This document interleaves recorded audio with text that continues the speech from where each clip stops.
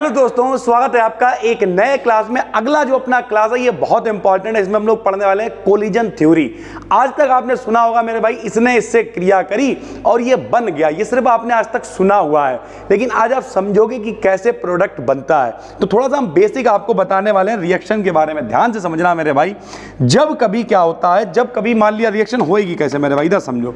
मान लिया ए ने बी से क्रिया करी, बनाएगा सी और बनाएगा डी तो जो लोग रिएक्शन कर रहे होते हैं, उन्हें कहते हैं रिएक्टेंट क्या कहते हैं मेरे भाई? रिएक्टेंट कहते हैं, यानी सरल भाषा में कहें तो अभिकारक कहते हैं। अभिकारक का मतलब जो लोग क्रिया करते हैं मेरे भाई, ठीक है? जो बनता है वो प्रोडक्ट होता है। प्रोडक्ट माने क्या होता है? उत्पाद, यानी ये बन रहा है तो ये प्रोडक्ट है मेरे भाई, ठीक है? ये रिएक्शन के बारे में आपको एक बेसिक जानकारी होनी चाहिए। अब ये प्रोडक्ट बना कैसे होगा?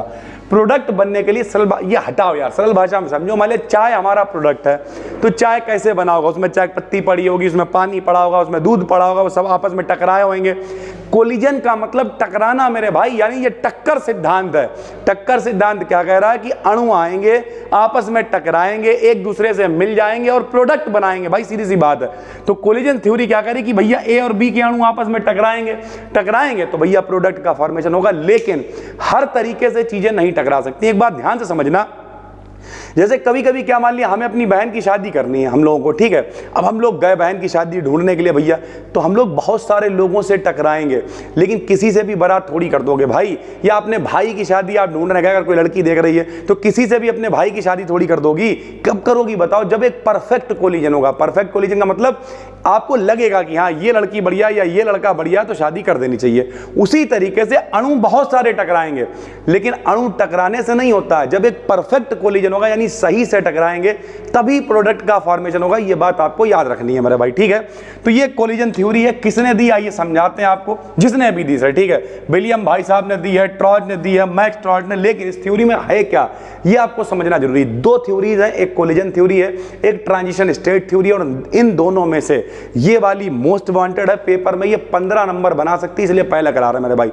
बहुत इंपॉर्टेंट ठीक है? सुनो, क्या है ये थ्योरी इस थ्योरी के मेन पॉस्टुलेट्स यानी मुख्य अवधारणाएँ निम्न है। क्या निम्न है?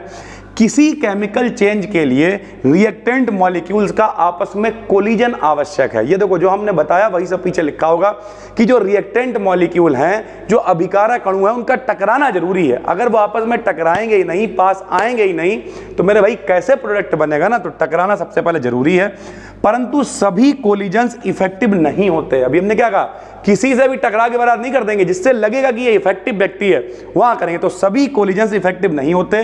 कोलिजन्स का केवल एक भाग के द्वारा प्रोडक्ट का फॉर्मेशन होता है। यानी टक्करें बहुत सारी होंगी, लेकिन जो परफेक्टली आके टकराएँगे, वही क्या बनाएँगे मेरे भाई? प्रोडक्ट का फॉर्मेशन करेंगे, उत्पाद का निर्माण करेंगे।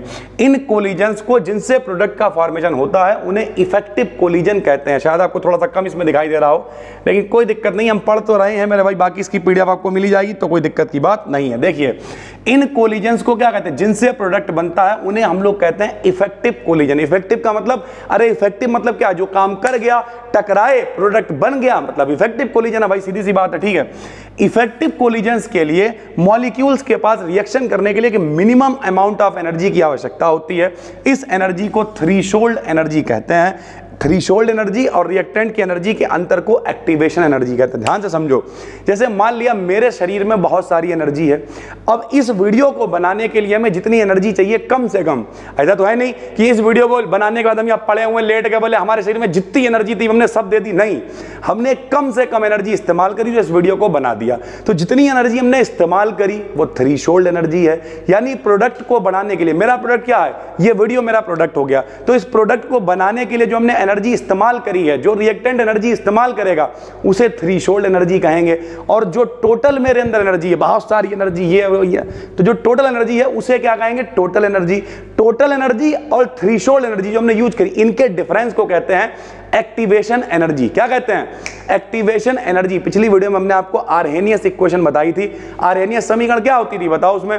एक्टिवेशन एनर्जी ये हुआ करती थी। तो एक्टिवेशन एनर्जी कहलाती। तो हमने लिख दिया एक्टिवेशन एनर्जी क्या होती है? थ्री शोल्ड एनर्जी माइनस का एनर्जी ऑफ़ रिएक्टेंट यानी कुल मिला के जितनी एनर्जी कम से कम चाहिए है वो और जितनी एनर्जी रिएक्टेंट की है वो उसमें से हम लोग घटा देंगे, सर। ठीक है यहाँ पर हमने ग्राफ बनाया हुआ है रिएक्शन के कोऑर्डिनेट्स के टर्म में, कि अगर इतनी एनर्जी मेरे पास होगी, तब मेरे भाई प्रोडक्ट का फॉर्मेशन होगा। ये इफ़ेक्टिव कोलिजन होगा मेरे भाई, ठीक है?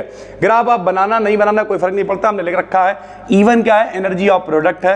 ई टू क्या है? एनर्जी ऑफ़ रिएक्टेंट है। ई थ्री क्या है? थ्री शोल्ड एनर्जी है। और ई ए क्या है? एक्टिवेशन एनर्जी है। यानी इतनी एनर्जी आ गई एक्टिव हो गया कंपाउंड आराम से क्रिया कर लेगा। संक्रियण ऊर्जा बोलते हैं संक्रियण का मतलब क्या? एक्टिव एक्टिव एनर्जी का मतलब जब वो लोग एक्टिव हैं, आएँगे, टकराएँगे और टकरा के क्या करेंगे? प्रोडक्ट का फॉर्मेशन कर देंगे सर ठीक है? चौथा पॉइंट प्रोडक्ट फॉर्मेशन के लिए मॉलिक्यूल्स का आपस में प्रॉपर ओरिएंटेशन के साथ कोलाइड करना आवश्यक है। प्रॉपर ओरिएंटेशन वो है जिसमें वो एटम संपर्क में आते हैं, जिनके मध्य बॉन्ड का निर्माण होना। यानी कोई भी संपर्क में नहीं आ गया। किसी से भी मिले पड़े, किसी से भी मिले पड़े, नहीं। केवल वो लोग संपर्क में आने चाहिए जो वाकई में बारात करने में इंटरेस्टेड है। बोले पहले पूरा गए मिठाई टाई ले गए सब कुछ खिला पिलाया है। उसके बाद पता वो तो बारात नहीं करने वाले अभी पाँच, दस साल। तो इसका मतलब क्या है? वो इफ़ेक्टिव व्यक्ति नहीं है, वो प्रॉपर व्यक्ति नहीं है, वो बॉन्ड बनाना ही नहीं चाहते भाई। उनके पास क्यों बॉन्ड बनाने के लिए पहुँच गया? तो उसी तरीके से कोलिजन के लिए प्रॉपर ओरिएंटेशन होना चाहिए। जैसे, ये देखो मेरे भाई, ऐसे टेने टेने टकरा रहे हैं, ऐसे बी से बी टकरा रहे हैं। नहीं सर प्रॉपर ओरिएंटेशन क्या जरा देखिए सर। या फिर ये देखो, कहीं कोने वोने मार के टकरा गया ये सब इनइफेक्टिव कोलिजन है। कोई प्रोडक्ट का फॉर्मेशन मेरे भाई नहीं होगा। लेकिन यहाँ देखो यहाँ देखो भैया, यहाँ ए और ए एक मॉलिक्यूल बी और बी एक मॉलिक्यूल दोनों एक दूसरे के तरफ़ आए, एक दूसरे से टकराए प्रॉपर ओरिएंटेशन हुआ और दोनों मिल गए ए बी ए बी इस तरीके से प्रोडक्ट का फॉर्मेशन हुआ। ये देखो ए बी ए बी फिर ए बी एक प्रोडक्ट बन गया ए बी एक और प्रोडक्ट बन गया। यानी आपस में जुड़े और बना दिया। सर जी, क्या ज़रूरी है इसी तरीके से दिखाएँ? नहीं। आप अपने हिसाब से एक दो उल्टे सीधे दिखा दिए तो वो इनफेक्टिव कोलिजन है। कायदे से जुड़ता हुआ दिखा दिया तो इफ़ेक्टिव कोलिजन है। मेरे भाई, आप बड़े क्लास में, छोटे क्लास में थोड़ी हो मेरे भाई। कायदे से दिखाओ ना, ऐसे करके ए दिखाओ, ठीक है? ऐसे करके इससे टकराता हुआ बी दिख बी दिखाओ, ठीक है? इस, ये इसकी तरफ़ आ रहा है, ये इसकी तरफ़ आ रहा है, इनकी टक्कर दिखाओ, लो ऐसे करके प्रॉपर कोलिजन दिखाओ ना, क्या दिक्कत है भाई? ये ओ ए हो गया, ये बी हो गया प्रोडक्ट का फॉर्मेशन हो गया। टेढ़ा मेढ़ा कोई दिखा दिया, कहीं उल्टी सीधी तरीके से कम कम हिस्सा जुड़ा हुआ है, सही से नहीं जुड़ पा रहा है, तब वो क्या इनफेक्टिव कोलिजन हो गया तो ज़्यादा दिमाग नहीं लगाना है। ये केवल एक आपके लिए खाका है जिसके, जिसे तैयार करा गया ताकि आप चीज़ों को समझ पाओ। बाकी आपको करना अपने हिसाब से बढ़िया तरीके से। बाकी हम आपको समझा रहे कोलिजन थ्योरी क्या होती है? भाई बताओ।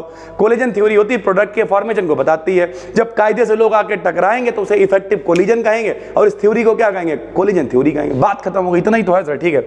उसके बाद स्पेसिफिक रेट कॉन्स्टेंट के एक सेकंड में होने वाले इफ़ेक्टिव कोलिजन की संख्या के बराबर होता है। एक सेकंड में जितनी टक्करें होंगी, उसे हम लोग कहेंगे स्पेसिफिक रेट कॉन्स्टेंट फॉर्मूला होता है के बराबर एफ़ इंटू जेड जेड क्या है? टोटल जितने टकराए वो एफ़ क्या है? फ्रैक्शन यानी उसका एक हिस्सा है। और के क्या है? स्पेसिफिक रेट कांस्टेंट है। तो चाहे इसे आप एफ़ लिख लो, चाहे आप के लिख लो, और फार्मूला क्या होता है? जरा यहाँ पे देखिए। के बराबर एफ़ अपॉन जेड तो अगर आप इसे एफ़ के फॉर्म में लिखोगे मेरे भाई तो ये ऐसे आएगा। और अगर यहाँ से एफ़ का मान निकाल लेंगे के अपॉन जेड तो के अपॉन जेड जब यहाँ रखेंगे तो के यहीं पे आ जाएगा।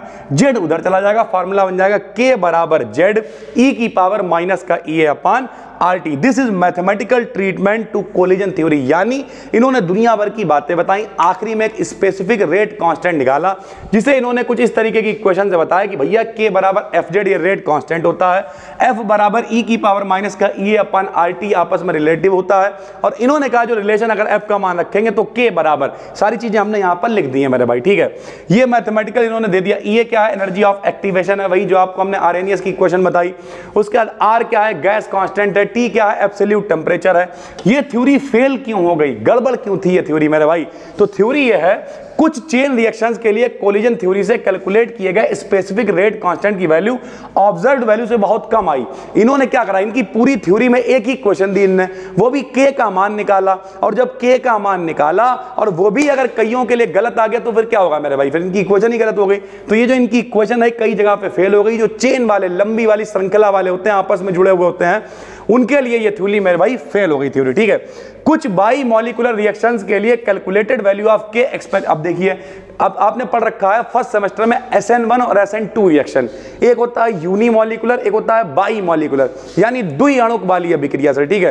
तो उसके लिए भी जब इन्होंने के का मान निकाला तो वो परफेक्ट नहीं आया और ये इनकी थ्योरी गलत हो गई। फिर क्या हुआ? कुछ मॉडिफिकेशन करा गया। मॉडिफिकेशन क्या करा गया? के की लो और हाई वैल्यूज़ को ठीक करने के लिए एक फैक्टर दिया गया, जिसे प्रोबेबिलिटी फैक्टर कहा गया। यानी इन्होंने जो इक्वेशन दी थी वो वैसे ही रखी। इन्होंने कहा, ठीक है, चीज़ें वेरी कर रही है ना मान कम ज़्यादा हो रहा है तो वो प्रोबेबिलिटी हम एक प्रायिकता फैक्टर ऐड करें तो पी इन्होंने संग में रख दिया। पी फॉर प्रोबेबिलिटी फैक्टर इसकी जो वैल्यू है वो एक से लेके दस की घात माइनस के नौ तक हो सकती है। कुछ कुछ केसेस में पी की वैल्यू दस की घात छः भी होती है। तो यानी कुल मिला के इन्होंने ठीक करने की कोशिश करी है, लेकिन मॉडिफिकेशन तो मॉडिफिकेशन ही होता कि चलो इसमें ये नहीं हो रहा तो ये रख लेना, ये नहीं हो रहा तो ये रख लेना। लेकिन रियलिटी है वो काम की थ्योरी इतनी ज़्यादा नहीं, लेकिन बेसिक कॉन्सेप्ट तो आपको पता होना चाहिए, इसका बेसिक कॉन्सेप्ट क्या है कि जब कभी भी रिएक्टेंट मॉलिक्यूल्स अड़ोस पड़ोस में आते हैं, आपस में टकराते हैं तो टकराने के बाद प्रोडक्ट का फॉर्मेशन करते हैं मेरे भाई, ठीक है? तो ये थी पूरी कोलिजन थ्योरी अगले में हम लोग बात करेंगे ट्रांजिशन स्टेट थ्योरी के बारे में। उम्मीद करते हैं आपको समझ में आ गई होगी। अगर आप कोर्स में देख रहे हो तो इसकी पीडीएफ आपको यहीं पे मिल जाएगी। पीडीएफ फाइल्स में अगर आप इस वीडियो को यूट्यूब पर देख रहे हो तो डिस्क्रिप्शन में लिंक अगर आप चाहो तो एप्लीकेशन को डाउनलोड कर सकते हो। वरना इसकी पीडीएफ आपको टेलीग्राम बी डी पर भी मिल जाएगी। बस दोस्तों, फिर मिलते हैं, तब तक के लिए धन्यवाद। Thank you